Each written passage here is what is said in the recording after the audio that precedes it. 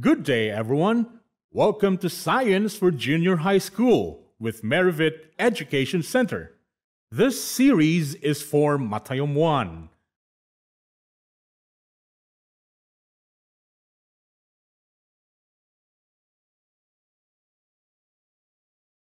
In this lesson, you will learn the physical and chemical properties of matter.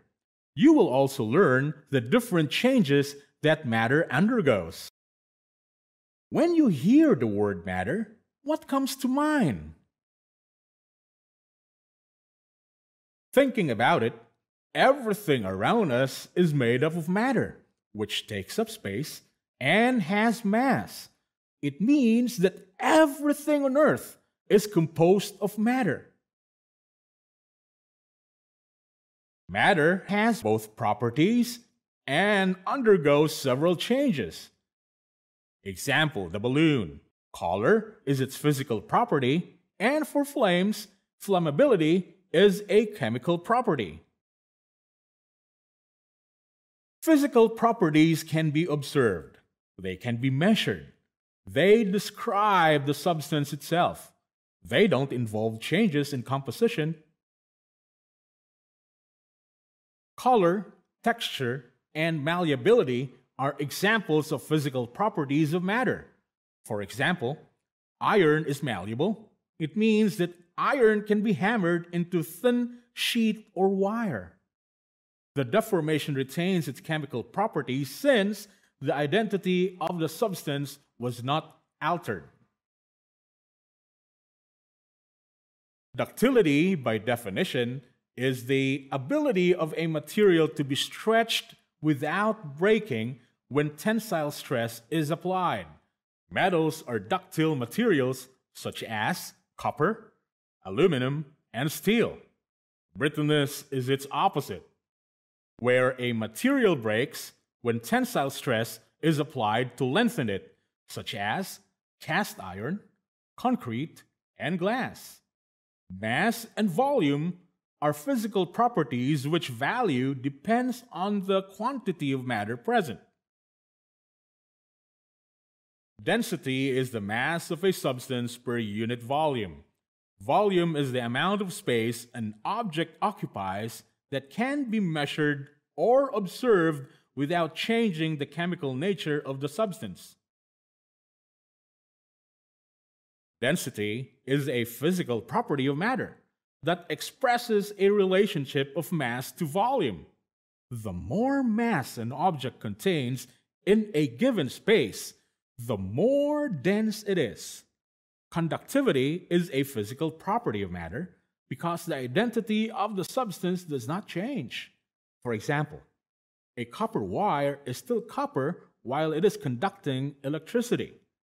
A copper wire transfers heat from one end to the other, but it still consists of copper at every point. Matter changes their physical properties due to temperature. Freezing point and boiling point are physical properties of matter affected by temperature. So when you put some water into a plastic cup and place it in the freezer, after some time, the water changes into ice, right? The water is changed from a liquid to a solid state. And with a bit of heat energy, the ice will melt back into water. Note that the chemical composition of water, which is hydrogen and oxygen, did not change, but its state changed from liquid to ice and back to liquid. Physical properties can be intensive or extensive. Do you know their difference? Intensive properties do not change with the amount of matter while the extensive property changes constantly depending on the amount. Here are specific examples of intensive and extensive properties. The mass of a gold bar may vary depending on its amount, but the color of gold will always be the same. Chemical properties of matter refer to its ability to undergo chemical changes and oftentimes it undergoes chemical reaction forming a new substance. Here are some examples of chemical properties of matter. Reactivity is the tendency of a substance to undergo chemical reaction, either by itself or with other materials, and to release energy. Examples of chemical reactivity include mixing substances to make a medicine, and the mixture of a toxic spill with substances in the environment. Another property of matter is instability. It is lack of stability, the state of being unstable. It occurs when a substance is at chemical equilibrium in its environment, which is its lowest energy state. The pH level of a substance can cause chemical change of a certain substance. Flammability is another type of chemical property. Gasoline is highly flammable. When it burns, it is converted into carbon dioxide and water. Examples of chemical properties of a substance include toxicity, oxidation states, heat of combustion, chemical stability, flammability, coordination number, reactivity, possible chemical bonds, and enthalpy of formation.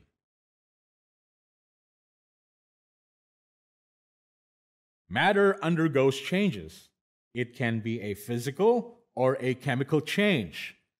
Physical change does not change the physical composition of matter. It may change its size and shape, but most physical changes are reversible.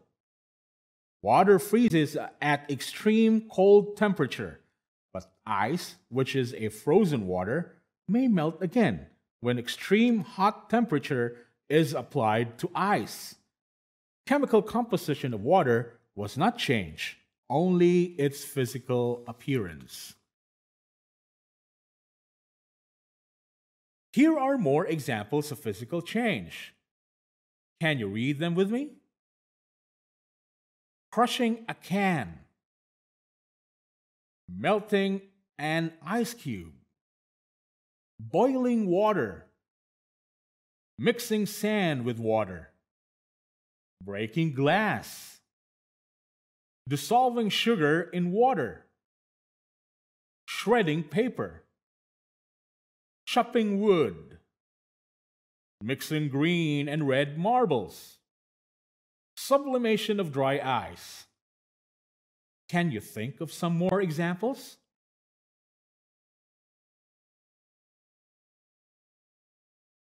The second type of change is chemical. Unlike physical change, which is reversible, chemical change is irreversible it also involves the formation of a new substance with different properties. Here are some examples of chemical change. We have here iron rusting, burning wood, metabolism, cooking an egg, baking a cake, electroplating, rotting banana, vinegar, and baking soda mixture fireworks, and chemical battery. Can you think of some other examples? How do we know that a chemical change occurred? Here are some indicators of chemical change a change in color, production of gas, change in mass, temperature change, and lastly, precipitations. All of these are some indicators of chemical change.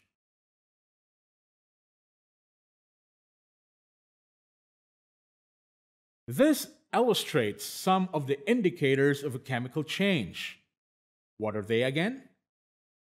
Can you please read? Fantastic!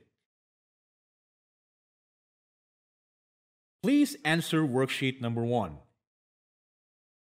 Get your smartphone and try scanning this QR code and review the vocabularies you have learned.